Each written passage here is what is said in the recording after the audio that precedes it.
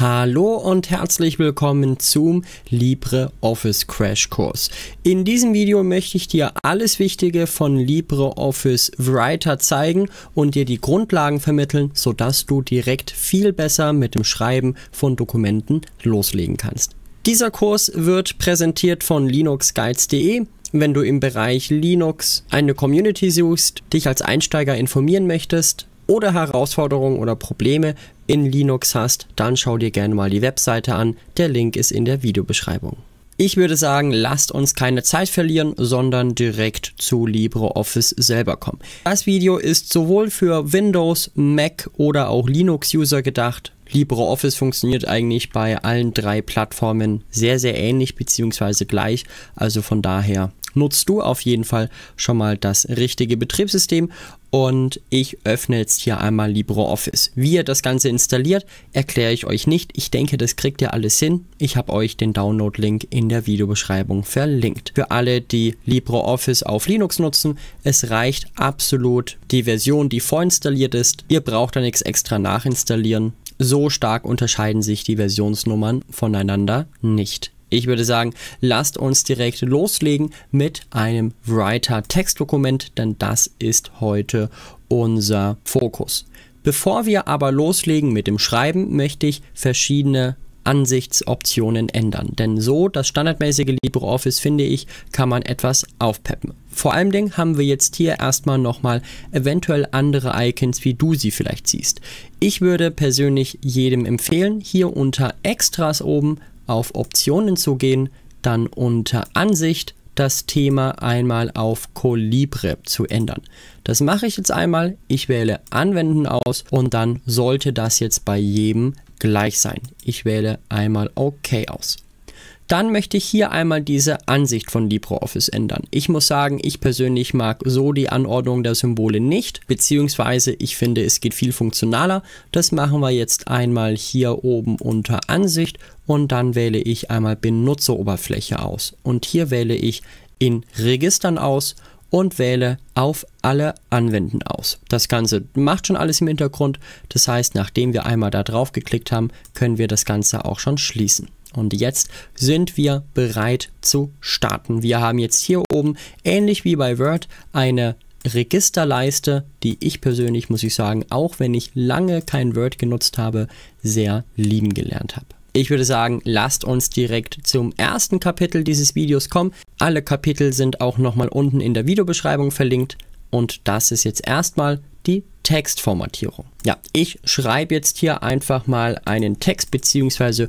füge diesen ein. Falls ihr auch Beispieltext braucht, dann gehen wir mal auf die Seite beispielsweise loremipsum.de und hier können wir jetzt beispielsweise einmal 10 Absätze generieren. Ich wähle Anpassen aus und kopiere mir einmal diesen Text und füge ihn hier mit Rechtsklick einfügen oder Steuerung V ein. Und jetzt haben wir hier tatsächlich einen Text, mit dem wir jetzt arbeiten können. Ich möchte am Anfang diesen Text formatieren und euch die verschiedenen Optionen zu zeigen. Am Anfang bei einem geschriebenen Textdokument wähle ich einfach mal hier den gesamten Text aus mit Steuerung A und dann können wir hier einmal die Ausrichtung definieren. Ich denke, das hat jeder von euch schon mal gemacht. Einmal links, Mitte, rechts oder was auch sehr, sehr schön in Dokumenten aussieht, die Blockformatierung, denn dann ist nämlich das Ende hier auch schlüssig. Kann ich nur empfehlen, ähm, die, diesen Blocksatz hier auszuwählen. Nebenbei LibreOffice hat auch ganz viele Tastatur-Kurzbefehle. In dem Fall wäre das Steuerung B. Wenn ihr mit der Maus ein bisschen länger über einem Symbol bleibt, dann wird euch das auch angezeigt.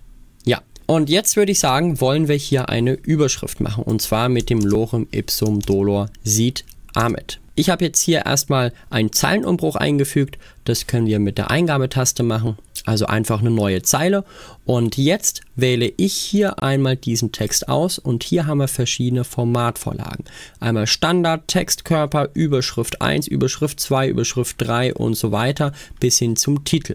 Ich kann euch nur empfehlen, diese vorgefertigten Sachen zu nehmen. Erstens wird es dann bei euch einheitlicher. Zweitens müsst ihr nicht viel verstellen. Und drittens, wenn ihr das Ganze später als PDF-Datei exportiert, dann erkennt dieser PDF-Exporter automatisch die verschiedenen Kapitel und ihr habt dann bei jedem PDF-Viewer direkt auch ein Inhaltsverzeichnis. Angenommen, ich möchte alle Titel in meinen Dokumenten anpassen, beziehungsweise mir gefällt dieser Standardtitel nicht, dann kann ich hier einmal Titel doppelklicken hier oben und dann sehen wir einmal die Absatzvorlage und können hier dann einmal die verschiedenen Einstellungen tätigen, aber beispielsweise auch die Schrift, wo wir jetzt hier beispielsweise ein Free Sans nehmen können oder was ihr auch eben haben wollt, Free Sans und die Größe beispielsweise nochmal anpassen könnt. In meinem Fall möchte ich das jetzt ein bisschen kleiner. Dann wähle ich einmal Anwenden aus und wähle OK aus und dann sind jetzt alle Titel in meinem Text genauso angezeigt. Nebenbei, wenn euch diese roten Wellen nerven, dann könnt ihr diese auch ausschalten, hier oben unter Überprüfen und dann automatische Rechtschreibprüfung. Wenn ich das einmal anklicke, dann ist das Ganze weg wenn ich das nochmal anklicke, ist es wieder da. Man kann am Ende auch ganz normal die gesamte Rechtschreibung überprüfen lassen. Das werden wir aber in einem späteren Artikel machen. Dann würde ich sagen, gehen wir doch nochmal diese komplette Formatierung hier durch.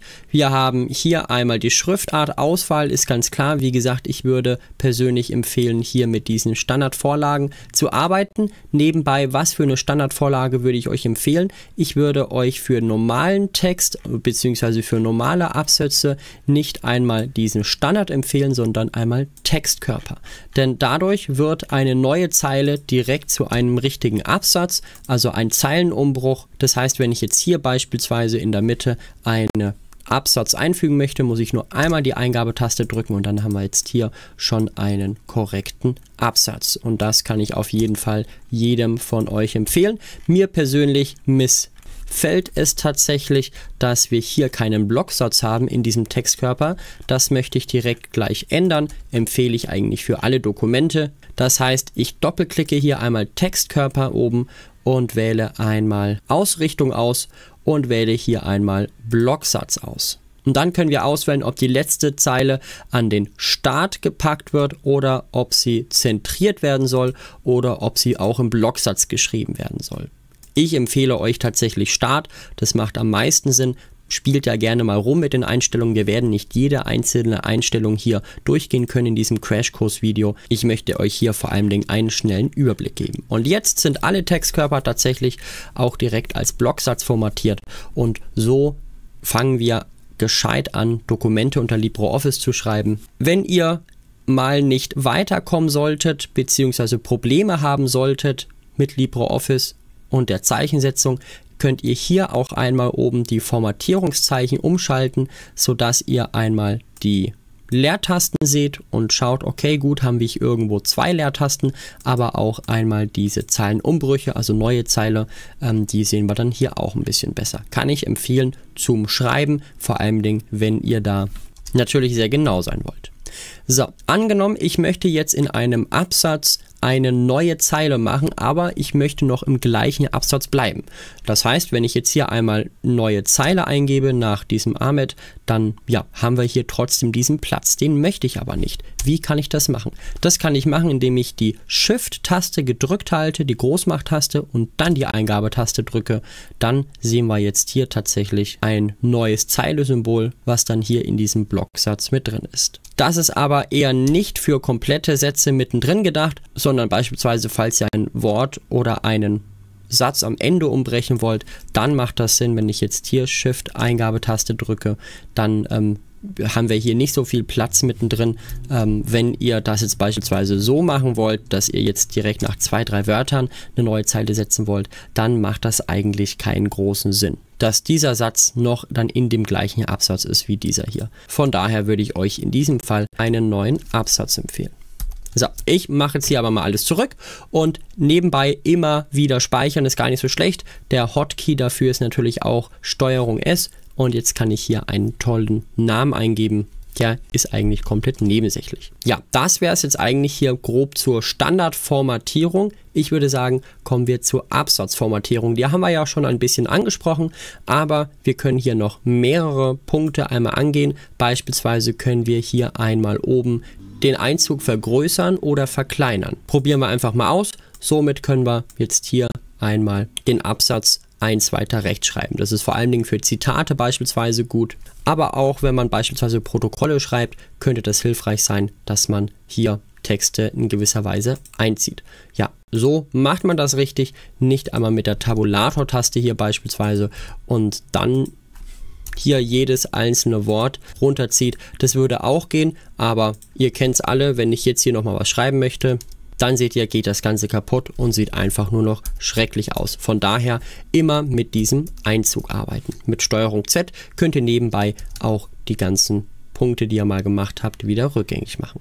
Dann gibt es noch einmal Listen, die möchte ich euch noch mal ganz kurz zeigen. Wir können hier einmal die ungeordnete Liste umschalten. Das ist nebenbei die Tastenkombination Shift F12. Damit könnt ihr da ganz schnell hin und her umschalten. Mache ich persönlich häufiger. Und dann kann ich jetzt hier ein Listenelement einfügen und hier meine Liste aufbauen. Ich schalte jetzt mal die Formatierungszeichen hier weg, weil ich muss sagen, die verwirren mich gerade zu sehr. Und dann haben wir jetzt hier eine schöne Liste. Die können wir natürlich auch nochmal einrücken. Das können wir mit der Tabulator-Taste machen. Dann ändert sich hier auch direkt das Symbol. Und wenn ich dieses Listen-Item wieder eins nach links verschieben möchte, beziehungsweise eins nach oben, wenn ihr versteht, was ich meine, dann könnt ihr die Shift-Tabulator-Taste drücken und dann geht das Ganze auch wieder ganz normal in die andere Richtung. Natürlich kann man hier nochmal andere Symbole auswählen, beispielsweise solche Pfeile oder solche Haken und so weiter. Sieht eigentlich ganz schick aus, um ehrlich zu sein. Ich würde euch eigentlich immer das Standard empfehlen. Und dann können wir hier auch noch einmal eine Nummerierung einschalten. Beispielsweise jetzt hier die ganz normale Nummerierung, aber auch eine Klammer und je nachdem, wie ihr das haben wollt oder in römischen Ziffern. Da ist wirklich genug was für jeden dabei. Ich belasse es hier auch auf dem Standard. Ansonsten gibt es dann nochmal ganz spezielle Formate, in denen wir beispielsweise sagen, wir können 1a und dann diese einzelnen Punkte reinmachen. Ich glaube, das ist sogar eine relativ neue Funktion in LibreOffice. Versteht sich hier auch nochmal von selber. Eine weitere wichtige Einstellung ist nochmal der Zeilenabstand und zwar können wir hier einmal zwischen dem Zeilenabstand 1, was sehr sehr eng ist, bis zu Zahlenabstand 2 hinschreiben, je nachdem, wie das bei euch gefordert wird in der Arbeit. Ich belasse es jetzt hier mal bei 1,15 auf dem Standard. Möchtet ihr jetzt beispielsweise bei einem speziellen Absatz etwas mehr Abstand einfügen, könnt ihr das natürlich mit einer neuen Zeile machen, mit der Eingabetaste. Ich finde, das ist aber erstens nicht ordentlich und zweitens will man das vielleicht ein bisschen genauer einstellen. Dafür gehe ich einmal hier oben auf Layout. Dort können wir jetzt einmal nebenbei den Einzug nochmal etwas genauer verändern, aber auch, was ich jetzt haben möchte, den Abstand oberhalb des Absatzes und unterhalb des Absatzes zu ändern. Meistens wollt ihr den Abstand unterhalb des Absatzes verändern. Dafür wähle ich hier einmal das Plus aus und dann geht es auch ein bisschen genauer und das ist eigentlich nur eine einzige neue Zeile. Wir schalten hier nochmal um, da ist nichts dazwischen, aber dadurch, dass wir jetzt hier im Layout das umgestellt haben, kann man das hier viel feiner machen. Muss nicht unbedingt sein, nur dass ihr Bescheid wisst, wo ihr das Ganze findet. Ja, das wäre es eigentlich zum grundlegenden Text schreiben. Schaut euch gerne hier auch nochmal die Tastenkombinationen an. Ich muss sagen, sie sind manchmal nicht unbedingt direkt logisch. Beispielsweise Fett ist Steuerung Shift F. Also wenn ihr Steuerung Shift F hier drückt im Text, dann macht ihr das Fett. Kursiv ist dafür nur Steuerung I und unterstrichen ist auch nur Steuerung U. Aber Steuerung Shift F. Weil Steuerung F nämlich belegt ist mit nämlich der Suche von Wörtern, wie wir sie hier unten dann finden können. Das ist jetzt aber erstmal nicht so wichtig. Ich würde sagen, lasst uns zum nächsten Kapitel kommen und das ist das Seitenlayout. Wir haben jetzt hier eine Standard DIN A4 Seite und die können wir uns jetzt nochmal anpassen. Dafür wähle ich hier oben einmal Layout aus und dann können wir hier erstmal die Seitenränder definieren. Manchmal braucht ihr hier Seitenränder von einem Zentimeter auf der linken Seite und ein bisschen mehr auf der rechten Seite oder so. In der Regel macht es aber Sinn, dass man die halt eben dann gleichmäßig ransetzt. Dann passt natürlich auch mehr auf die Seite. Ich muss sagen, das sieht sehr, sehr komisch aus. Von daher mache ich das mal ganz schnell zurück mit ganz viel Steuerung Z. Viel wichtiger ist einmal die Ausrichtung. Wir können hier einmal das Hoch- oder Querformat bestimmen und auch die Seitengröße und so weiter. Ich muss sagen, dieses Menü nutze ich persönlich gar nicht. Es gibt eigentlich sehr, sehr schönes Einstellungsfenster. Wir können nämlich einen Rechtsklick irgendwo auf die Seite auswählen und dann hier einmal die Seitenvorlage öffnen. Und hier können wir jetzt unter Seite eigentlich alles einstellen, was wir brauchen. Einmal das ganz spezielle Format A4, A6, A3 und so weiter oder auch ein ganz benutzerdefiniertes Format. Dann einmal die Ausrichtung, das ist nochmal ganz wichtig.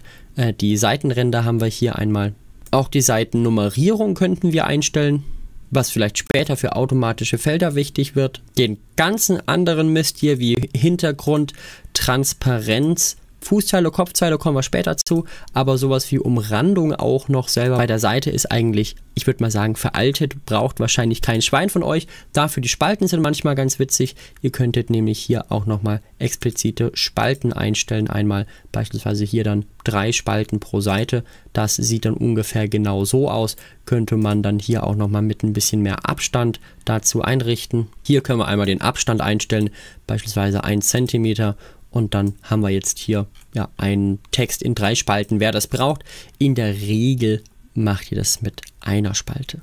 Bei wissenschaftlichen Arbeiten vielleicht mal zwei. Würde ich euch aber hauptsächlich nur mit einer Spalte empfehlen. Ich wähle einmal Anwenden aus und wähle OK aus. Jetzt kommen wir zu den ersten Sachen, die wir einfügen können. Und zwar sind das heute unsere Tabellen. Ich mache dafür eine neue Zeile nach einem Absatz und wähle hier oben einmal Einfügen aus. Jetzt können wir hier viele verschiedene Sachen einfügen. Wir werden uns einiges in diesem Video noch anschauen. In dem Fall möchte ich aber Tabelle auswählen. Das ist eigentlich das, was man sehr, sehr, sehr häufig braucht. Und jetzt kann ich hier einmal einstellen, wie viel Zeilen und Spalten meine Tabelle haben soll. Ich wähle jetzt einmal 3x4 aus. Diese Tabellen funktionieren anders wie in dem LibreOffice Writer Dokument, nur dass ihr da Bescheid wisst. Es gibt zwar einige Sachen von LibreOffice Calc, was auch im Writer funktioniert, aber eben nicht alles. Das heißt, wollt ihr vorwiegend ein Tabellendokument erstellen, dann macht das auch wirklich in LibreOffice Calc und nicht in Writer. Ich möchte hier vor allen Dingen auf die Formatierung eingehen. Angenommen, wir haben hier jetzt verschiedene Wörter drinnen dann sieht das am Anfang erstmal super schrecklich aus. Vor allem, Dingen, weil wir jetzt hier ähm, noch in diesem Textkörpermodus sind. Ich würde euch in diesem Fall einmal Standard empfehlen, dann sind diese komischen Absätze direkt weg. Und wir haben keinen Blocksatz und so weiter.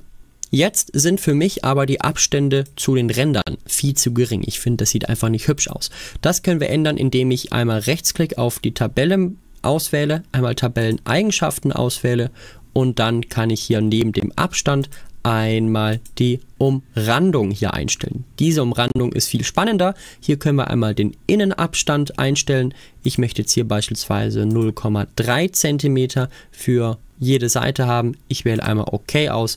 Dann haben wir jetzt hier den Text nochmal mit ein bisschen mehr Platz außenrum. Das sieht dann schon viel, viel besser aus. Ich könnte jetzt beispielsweise auch hier die gesamte Zeile einmal markieren, einmal hinziehen und dann beispielsweise alles fett machen und mittig setzen. Auf der linken Seite könnte ich das beispielsweise genauso machen, fett und mittig.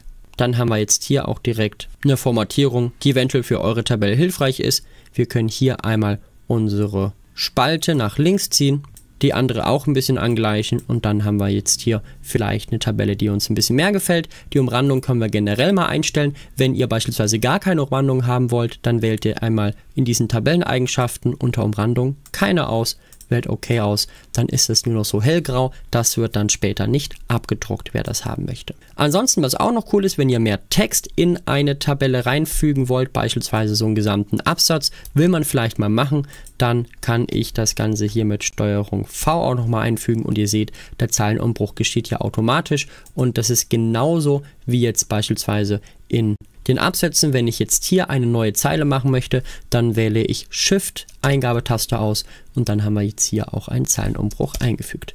Da ist die Formatierung natürlich ein bisschen beschränkter, aber für die Tabellen reicht es eigentlich schon ganz gut, nur dass ihr da Bescheid wisst. Ansonsten bietet die Tabellenfunktion auch nochmal eine automatische Formatierung. Dazu wähle ich einmal einen Rechtsklick aus, wähle Vorlage aus und wähle Autoformat aus. Und dann können wir hier zwischen Standard, akademisch, blaue Liste, grüne Liste, rote Liste, gelbe Liste, elegant oder Finanzen, einfache Spalten, einfache Zeilen, einfache Schatten entscheiden.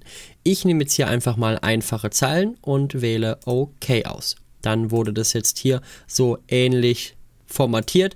Wir sehen aber ganz klar, dass der Rest unserer Änderung verloren gegangen ist. Wenn wir das wieder rückgängig machen wollen, dann wählen wir Steuerung Z aus und dann sind wir wieder dort. Ich bin ganz ehrlich, ich markiere mir diese Zeilen einmal hier und wähle hier dann eine Hintergrundfarbe aus und da kann ich euch beispielsweise hellgrau 3 empfehlen. Das sollte man auch auf dem Drucker sehen, je nachdem. Eventuell ist es bei euch auch erst hellgrau 4, je nachdem, weil die dunkleren oder die helleren hellgraus, die sieht man nicht ganz so gut auf dem Drucker. So, das mache ich jetzt hier unten nochmal. Klick hier einmal auf diese Füllfarbe. Ansonsten kann man hier tatsächlich auch Formeln einfügen, eine Summe beispielsweise. Ich könnte jetzt hier beispielsweise, wenn ich noch ein paar Zeilen brauche, nochmal die Zeilen hier unten vervollständigen oder vervielfältigen und diese dann am besten mit der weißen Hintergrundfarbe nochmal versehen. Dann könnte ich jetzt hier unten noch einmal eine Summe definieren, beispielsweise ich wähle dieses Summzeichen aus und ziehe mir dann hier das Feld, was ich zusammenzählen möchte oder die Felder, die ich zusammenzählen möchte, hier zusammen und gebe die Eingabetaste ein. So, dann kann ich jetzt hier 145, 12 und 43 beispielsweise eingeben und dann haben wir hier sogar zufällig genau die 200 und das Ganze kann man natürlich dann auch als ein Währungsfeld sehen. Das machen wir dann hier hinten beim Zahlenformat. Hier können wir beispielsweise die Kommazahlen einstellen, die Daten, eine Prozentzahl natürlich, wenn man möchte. Das mache ich mal rückgängig. Ich wähle hier einmal Währung aus und dann haben wir jetzt hier das Ganze in unserer Landeswährung drin. Beispielsweise.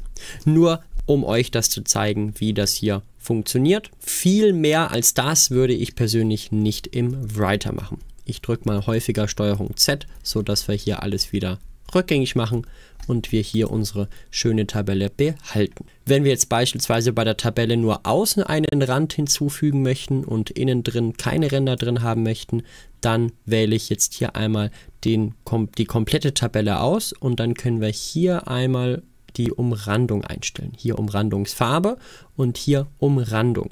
Ich wähle das einmal aus und dann können wir hier verschiedene Modi auswählen. Hier würde ich jede einzelne Zeile mit einem Rand versehen. Ich möchte nur die äußeren Ränder mit einer Umrandung sozusagen versehen. Das heißt, ich wähle dieses Zeichen aus und dann haben wir jetzt tatsächlich nur außen eine Umrandung. Die kann man hier dann tatsächlich so einstellen, wie man möchte, je nachdem, welche Linie man hier auswählen möchte und natürlich dann auch nochmal die Umrandungsfarbe beispielsweise.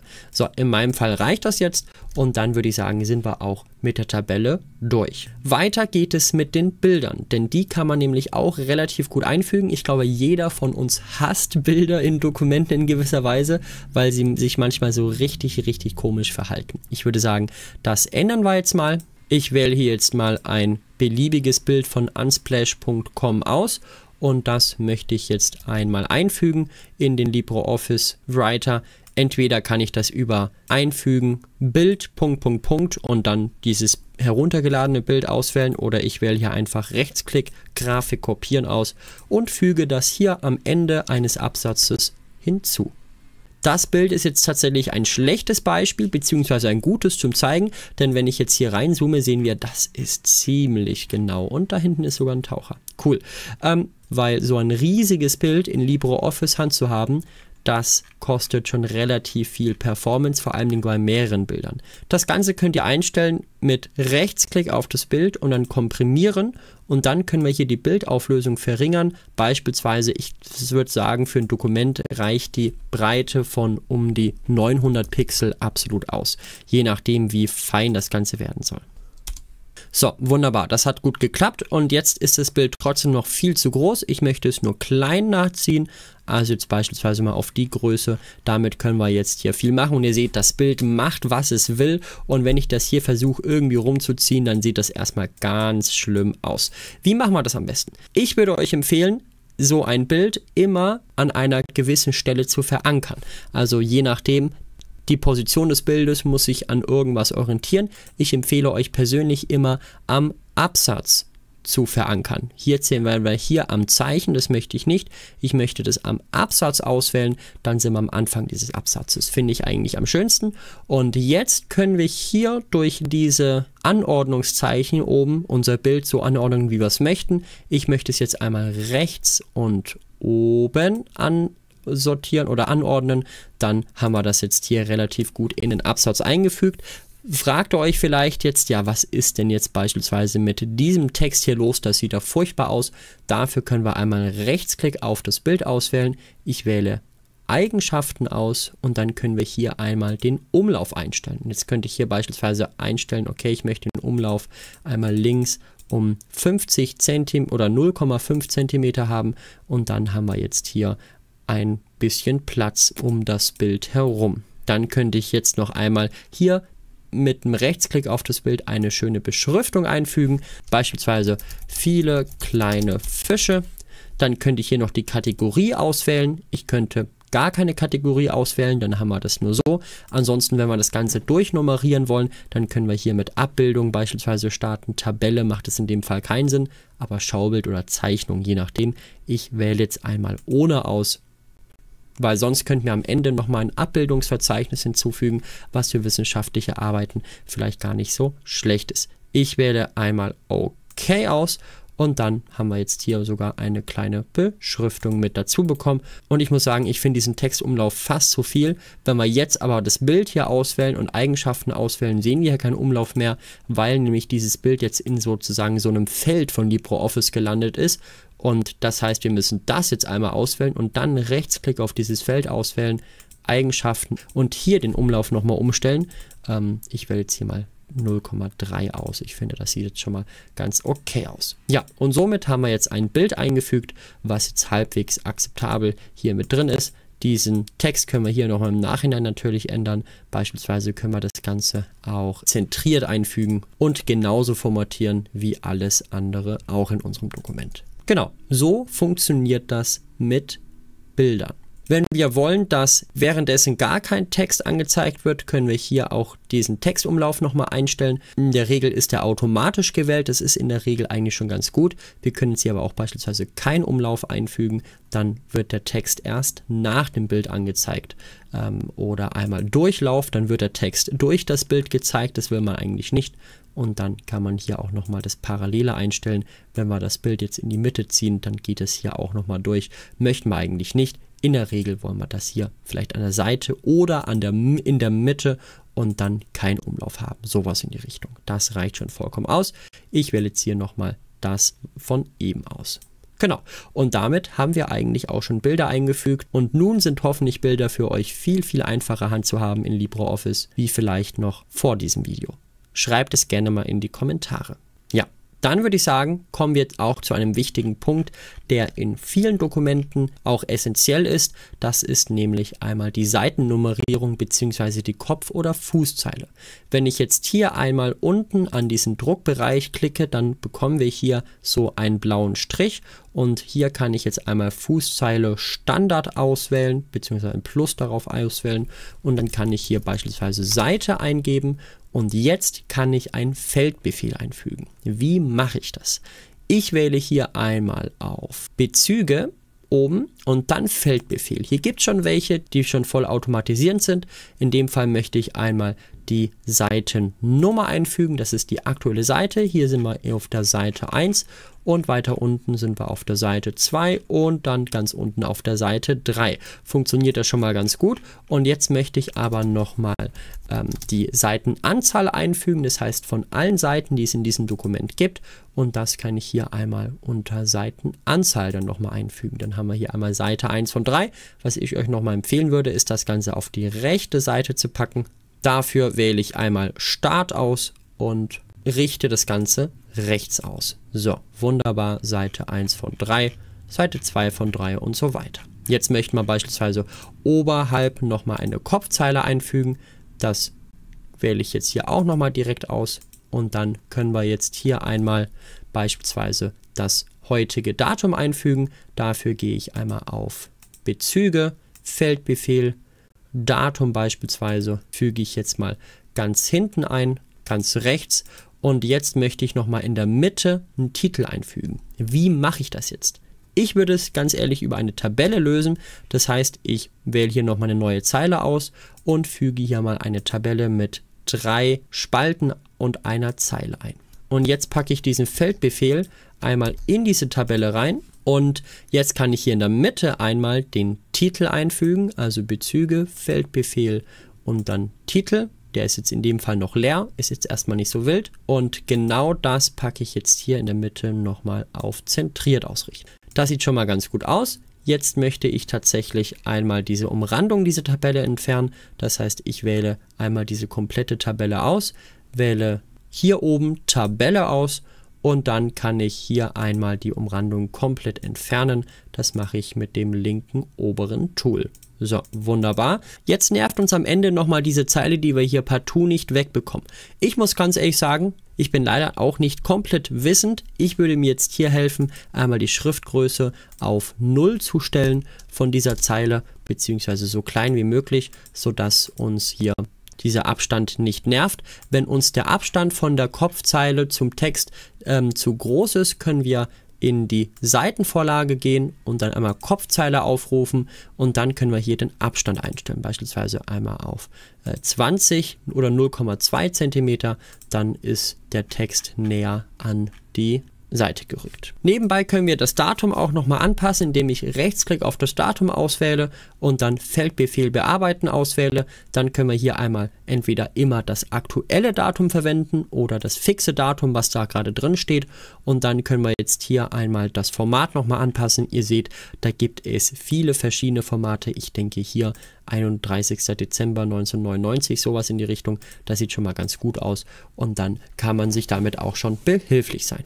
Ja, das wäre es soweit zur Kopf- und Fußzeile. Lasst uns jetzt zu Fuß- und Endnoten kommen. Beispielsweise, wenn ich jetzt hier in diesem Text eine Fußnote einrichten möchte, wähle ich hier oben einmal Bezüge aus und je nachdem, wo mein Textcursor gerade ist, kann ich hier einmal eine Fußnote einsetzen. Wichtig, die Fußnote ist direkt am Ende der gleichen Seite einmal referenziert. Wenn wir einmal Endnote auswählen, dann wird das ganz am Ende des Dokuments nochmal mit angefügt. Probieren wir das doch einfach mal mit der Endnote aus. Ich wähle hier einmal Endnote einfügen aus und dann sehen wir hier, es wird eine neue Seite generiert, ganz am Ende. Die hat auch keine Nummerierung mehr tatsächlich, keine Kopf- und Fußzeile mehr. Und ich gebe jetzt hier einmal den entsprechenden Text für die Endnote ein. Ich bin jetzt hier mal ganz kreativ. So, Endnote 1. Wunderbar. Und dann läuft das tatsächlich auch und wir haben hier ein kleines i eingefügt. Wenn ihr möchtet, könnt ihr auch auf Fuß- und Endnoten hier einmal oben klicken, dann können wir das einrichten.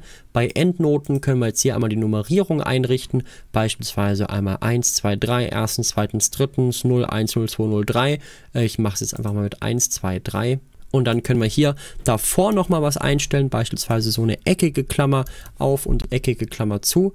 Und dann wähle ich einmal OK aus. Dann haben wir jetzt hier die kleine 1 und wenn ich jetzt da drauf klicke, dann kommen wir am Ende einmal zum Endnotenverzeichnis und haben dann hier einmal unsere eckige Klammer auf und eckige Klammer zu.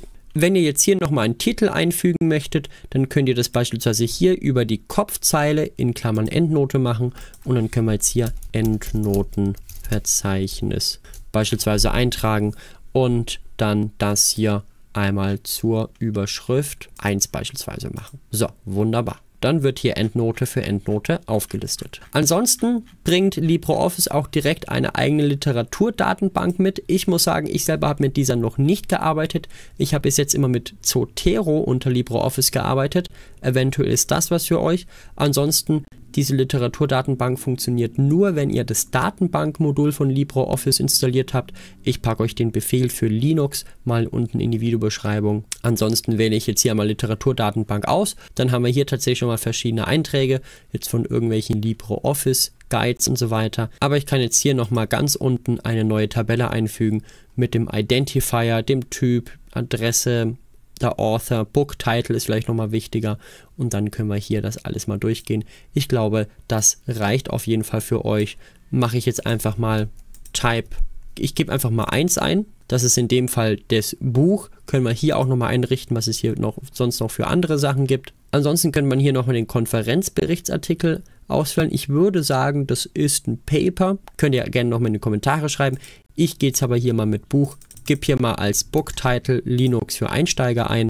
Können wir nebenbei auch hier eingeben, da ist es sogar alles auf Deutsch übersetzt. Herausgeber können wir einstellen, aber auch die Autoren, beispielsweise hier Tux Fuchs beispielsweise. Gut, okay, dann können wir noch ein Kapitel definieren und viel, viel, viel mehr. Das reicht für mich nochmal. Jahr ist vielleicht nochmal wichtig, sagen wir mal Jahr 2022 und dann passt es soweit.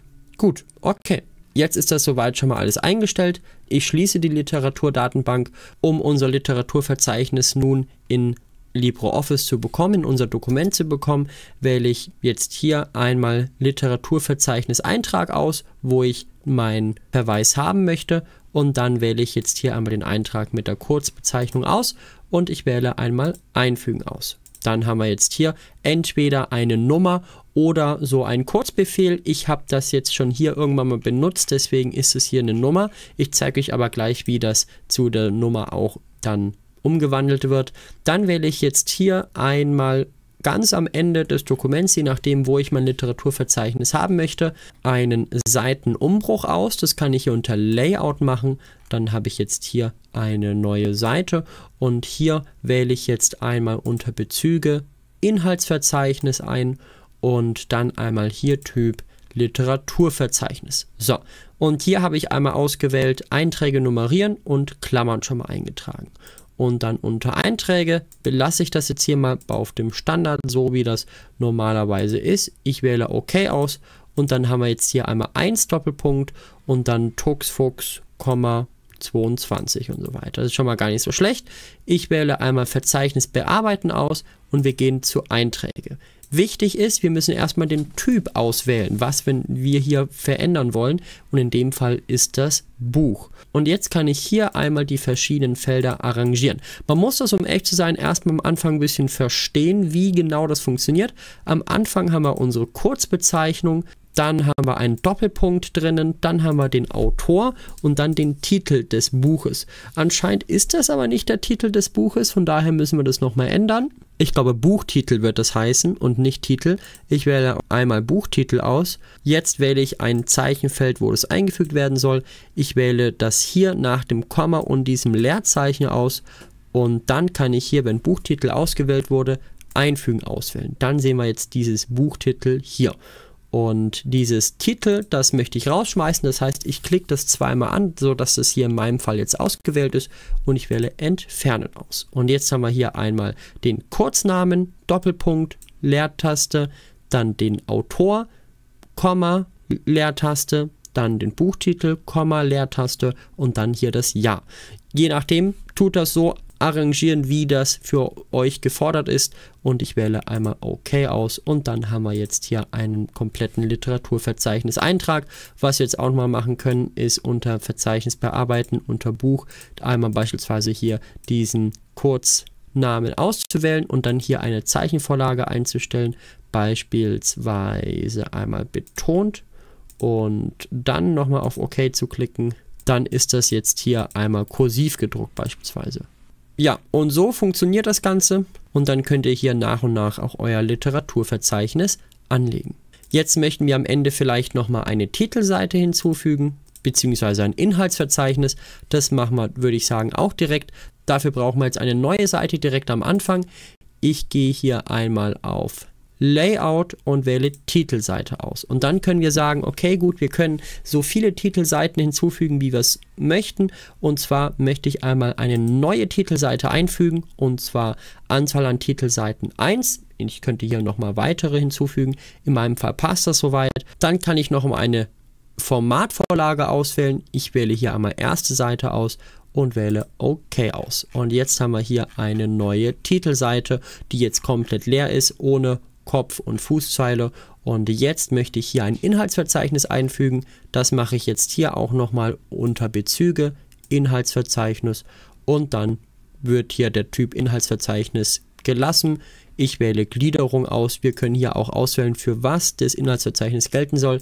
Ich sage gesamtes Dokument und ich sage einmal OK. So, in dem Fall haben wir jetzt hier nur das Endnotenverzeichnis. Das ist ein bisschen wenig. Ich glaube, das liegt daran, dass das hier unser Titel ist. Wenn ich jetzt hier beispielsweise das Ganze einmal auf unsere Überschrift einstelle beispielsweise und hier nochmal eine Überschrift 2 reinpacke, also dieses Advero und dann hinten nochmal eine Überschrift 1 auswähle, das ganze Dokument abspeichere und jetzt nochmal ganz nach oben gehe und Rechtsklick auf das Inhaltsverzeichnis auswähle, Verzeichnisse aktualisieren. Dann sehen wir hier direkt ein Inhaltsverzeichnis, was jetzt hier automatisch generiert wurde von LibreOffice, was wir hier direkt nutzen können. Ja, damit hätten wir auch unser Inhaltsverzeichnis generiert. Ein Punkt, bevor wir zum letzten Punkt hier in diesem Video kommen, auch nochmal ein spannendes Kapitel, wäre unter Einfügen hier einmal das Diagramm. Ich wähle hier einmal Diagramm aus und dann haben wir hier ein riesiges Diagramm bekommen. Und ich muss sagen, ähm, man muss sich am Anfang so ein bisschen einarbeiten, wie diese Diagramme unter LibreOffice funktionieren, aber dann, wenn man das einmal durchstanden hat, dann kann man damit wirklich richtig schöne Sachen machen. Ich doppelklicke einmal dieses Diagramm, dann sind wir hier einmal in diesen Diagrammeinstellungen und haben hier verschiedene weitere Icons, die man hier einmal alle durchgehen kann. Einmal den Diagrammtyp, dort können wir beispielsweise ein schickes Kreisdiagramm einstellen, so ein explodierendes Ringdiagramm tatsächlich ähm, ein anderes Ringdiagramm, Liniendiagramme. Was ich tatsächlich sehr gerne mag, sind diese Punkte beziehungsweise nur diese Linien. Das nutze ich persönlich relativ häufig. Ansonsten Kursdiagramm, Säulen und Linien, ihr seht es. Äh, Säulendiagramm ist tatsächlich auch gar nicht so schlecht, je nachdem, was ihr halt eben braucht. Ich denke, da wird jeder von euch fündig und tatsächlich können wir hier auch nochmal eine 3D Darstellung einstellen, so dass wir hier tatsächlich das ganze Diagramm nochmal in 3D haben. Ähm, entweder in realistisch oder in einfach, je nachdem. Ich finde beides, um ehrlich sein, nicht so schön in dieser 3D-Darstellung. Aber es funktioniert. Das ist halt eben die wichtige Sache. So, ich bleibe hier mal beim einfachen Kreisdiagramm, wähle einmal OK aus und switche hier einmal zu Datentabelle. Und jetzt kann ich hier diese einzelnen Daten eintragen.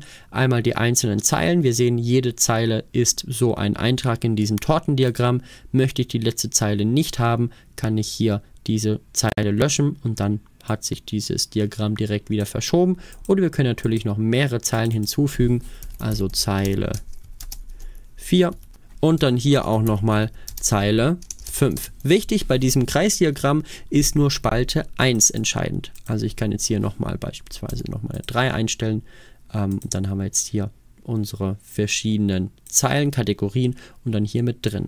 Ähm, diese anderen Spalten, die sind dann wichtig für andere Diagrammtypen, wie jetzt beispielsweise dem explodierenden Kreisringdiagramm und alles mögliche, was es da noch gibt. Ähm, also je nachdem, in dem Fall haben wir jetzt hier nur eine Sache. Wir können tatsächlich die anderen Spalten auch löschen. Das können wir dann über dieses Zeichen hier machen. Und dann haben wir jetzt hier einmal unsere Werte beispielsweise für diese Kreistierbilder. Tabelle. Das ist doch schon mal ganz gut. Dann können wir nochmal die Legende einstellen und zwar unter Anordnung. Beispielsweise wir können das Ganze nach unten packen. Ich wähle OK aus und dann haben wir unsere Legende direkt drunter, wo wir jetzt hier tatsächlich auch nur die Oberfläche gekratzt haben. Wichtig ist, wie kommt in das Diagramm und wieder raus? Ihr müsst es doppelklicken, dann kommt ihr rein und wenn ihr einmal so in den Absatz klickt, dann geht ihr da wieder raus. So, das wäre es jetzt erstmal soweit gewesen. Jetzt würde ich sagen, schauen wir uns doch nochmal die Dokumentvorlagen an. Das ist auch nochmal ein wichtiger Punkt, den möchte ich euch nochmal zeigen. Dazu erstelle ich jetzt nochmal ein neues Dokument. Ich wähle Datei hier einmal neu aus und dann möchte ich jetzt hier einmal beispielsweise immer meine Kopfzeile mit dem aktuellen Datum drin haben. Dazu wähle ich jetzt einmal Einfügen, Feldbefehl, Datum aus, stelle das so ein, wie ich haben möchte, mit Rechtsklick, Feldbefehl bearbeiten, Datum, ich möchte das aktuelle Datum drin haben und dann einmal hier den 31. Dezember wieder und das Ganze packe ich mal auf die rechte Seite. Das reicht mir persönlich absolut aus. Das möchte ich jetzt einmal als Dokumentvorlage abspeichern. Man kann sich natürlich hier einen ganzen Brief bauen und so weiter gibt es auch schon verschiedene Vorlagen im Internet, könnt ihr euch auch nochmal anschauen. Aber ich möchte es euch einfach mal zeigen, wie ihr das selber macht und wie es grundlegend funktioniert.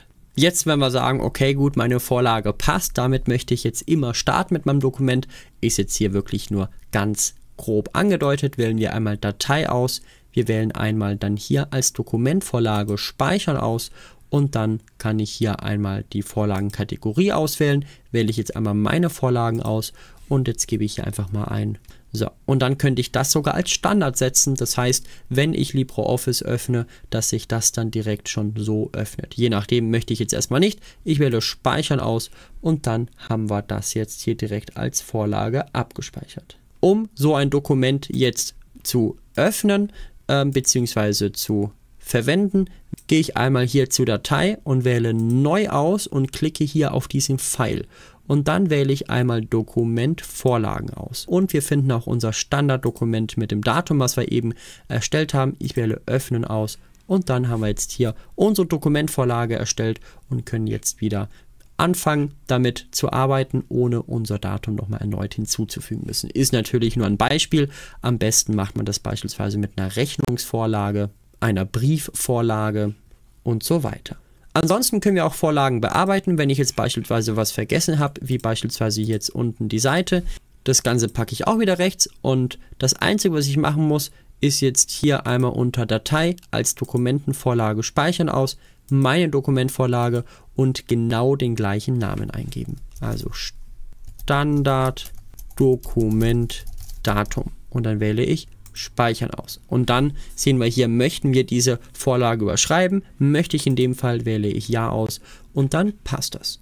Und diese Dokumentvorlage wurde aktualisiert. Das wäre ein grober Rundumschlag um LibreOffice. Ich möchte hier sagen, dass wir hier nur die Oberfläche gekratzt haben und es in jedem Bereich eigentlich nochmal viel tiefer reingeht. Aber ich möchte das Video nicht zu sehr in die Länge strecken. Beispielsweise können wir hier einen Autotext einfügen, beispielsweise hier ein Bewerbungsschreiben, na, Ihre Anzeige in der Zeitung vom und so weiter hat mein Interesse geweckt, kann man natürlich so schreiben. Ich würde euch da mittlerweile, glaube ich, empfehlen, etwas anderes zu nehmen, aber sowas gibt es natürlich, kann man natürlich auch selber nochmal einstellen. Wir haben diese ganzen Zeichnungen noch nicht angeschaut. Wir haben die Formel noch gar nicht angeschaut unter LibreOffice. Das ist aber nochmal ein bisschen spezieller. Die Silbentrennung. Was vielleicht nochmal wichtig ist, ist am Ende die Rechtschreibung. Man kann da drauf klicken und dann fragt er jedem einmal die Rechtschreibung ab. Da gehen wir nochmal auf unser anderes Dokument. Kommentare sind tatsächlich am Ende gar nicht so schlecht. Man kann hier tatsächlich dann nochmal irgendwelche Kommentare mit eintragen. So, hallo Welt. Wenn ihr hier nicht als unbekannter Autor drinstehen wollt, dann könnt ihr tatsächlich einmal unter dem Burger-Menü hier rechts oben und dann Optionen einmal eure Benutzerdaten einstellen. Beispielsweise hier Vorname, Nachname. Also wenn ich jetzt hier Jean V eingebe, anwenden und nochmal einen Kommentar einfüge, dann haben wir hier tatsächlich beispielsweise auch einen Namen. Aufzeichnen ist ganz cool zum Korrigieren, beispielsweise wenn ich jetzt hier ein Wort ersetzen möchte und hier beispielsweise dann Lorem reinschreiben möchte, dann sehen wir das hier tatsächlich auch direkt, wie er das dann aufzeichnet und man sieht dann tatsächlich auch die Änderungen wirklich an dem Dokument, kann dann tatsächlich Rechtsklick später drauf machen und sagen Änderung annehmen oder verwerfen, je nachdem, das ist ganz cool. Also da gibt es auch einiges hier in diesem Überprüfen-Sektor.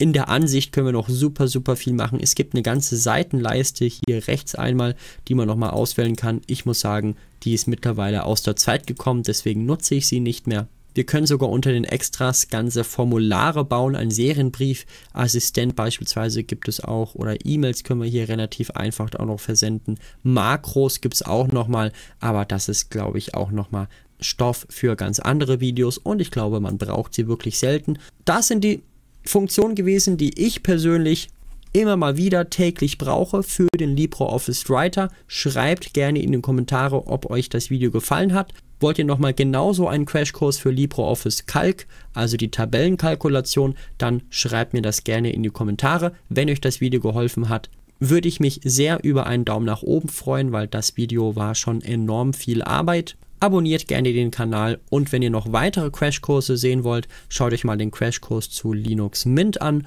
oder beispielsweise auch den Crashkurs zu GIMP. Der Photoshop-Alternative ist auch einer meiner erfolgreichsten Videos. Das wäre es gewesen. Ich wünsche euch jetzt viel Spaß beim Dokumente schreiben und falls euch verschiedene Parts in diesem Video gefehlt haben, schreibt ihr gerne auch nochmal in die Kommentare rein. Eventuell werde ich da in den nächsten Monaten nochmal ein Update-Video zu bringen. Macht es gut, ciao.